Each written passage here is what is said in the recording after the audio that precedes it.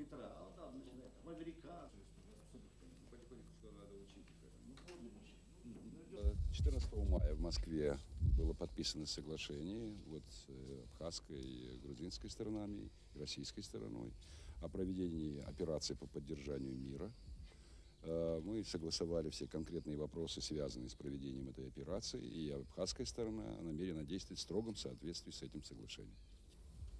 Когда возможно будет Э, Ну, вы, я уже вам и в Ереване говорил, и частично в Тбилиси. Сейчас э, нужно политическое согласие.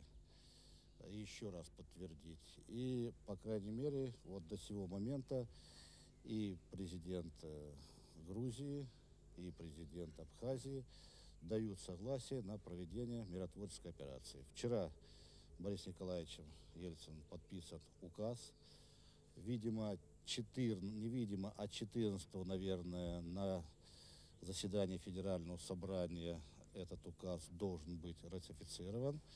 И действия миротворческие мы можем начать э, через 3, максимум 5 дней после отдачи указания на проведение миротворческих, а, а, миротворческой операции.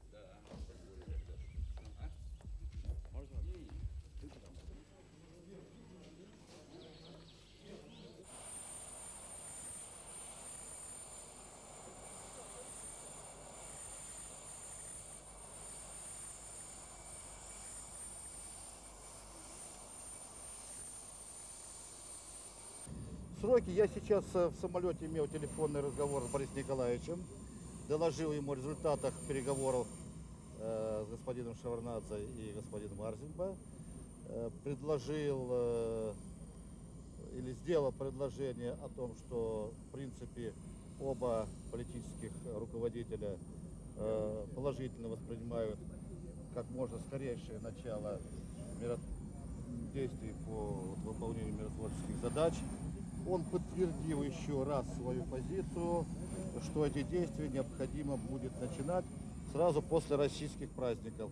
Вы знаете, 12 июня у нас праздник, 13 выходной, а после выходного начнем, наверное.